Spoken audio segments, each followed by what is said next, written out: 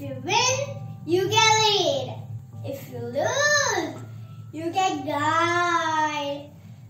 Swami Vivekananda, one of the greatest spiritual leaders, once said, education is not the amount of information that we put into your mind and runs through your their undigested or your life.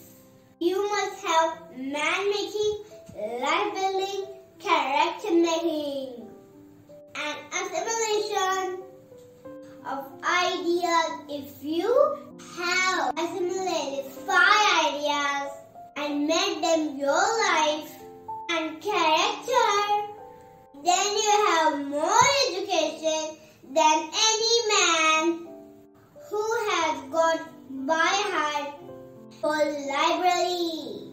Hello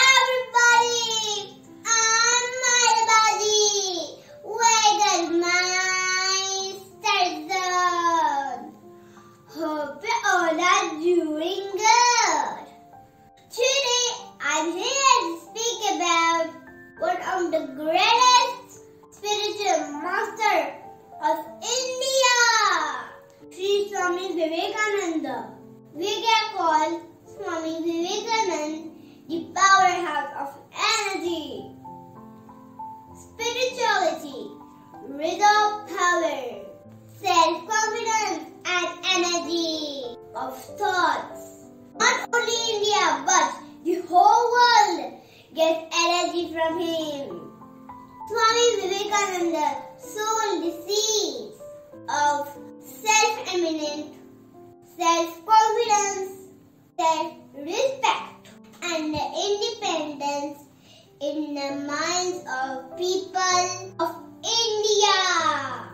He taught people of India love their nation. Swami Vivekananda's real name was Narendranath Datta. Was born on 12 January 1863 in Calcutta. His father, Vishwanath Datta, was an attorney Calcutta High Court. He was from a high educated family and was a gifted child with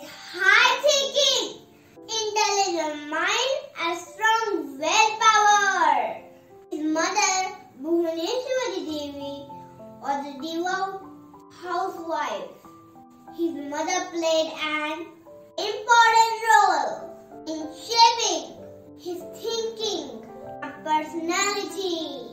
From a very early age, he used to meditate for a long time.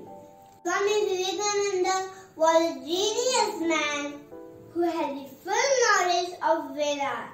His precious knowledge proved him to the greatest man of history of India.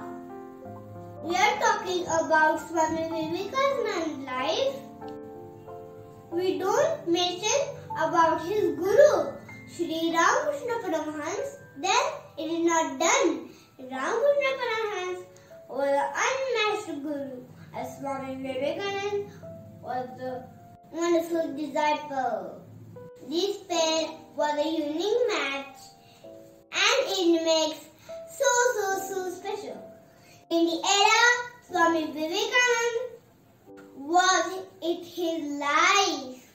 Big India once slave of Britishers. At that time, he addressed the young generation of India by saying that arise awake and stop not until God is achieved. In the year 1893, when the world's first parliament of religious was held in Chicago. At that time,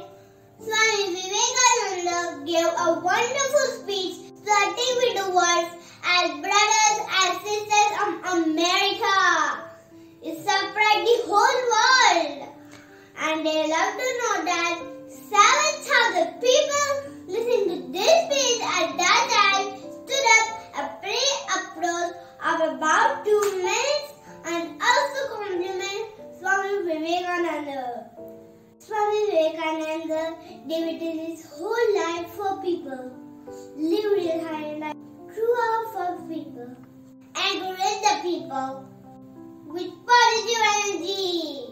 Thus, he said goodbye to the world at the very early age of 39 on 4 July 1902. But, but the great man never died because their thoughts never died, their thoughts always live in life. Swami Vivekananda is the youth of today.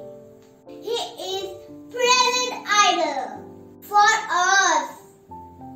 An example to this, this is that today is India. His birth anniversary is celebrated National Youth Day. At last, I would like to salute and his thoughts, may his thoughts always remain immortal even after our next hundred generations.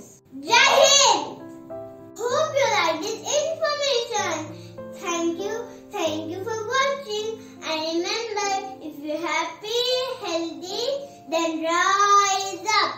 Bye.